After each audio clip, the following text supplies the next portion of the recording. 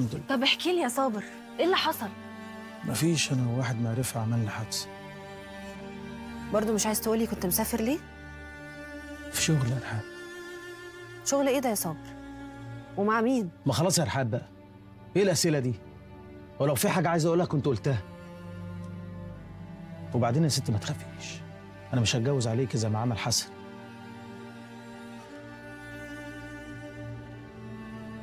صابر كان في حاجة كده حصلت كنت عايزة أقول لك عليها. حاجة إيه؟ الواد فين؟ الواد نايم فوق.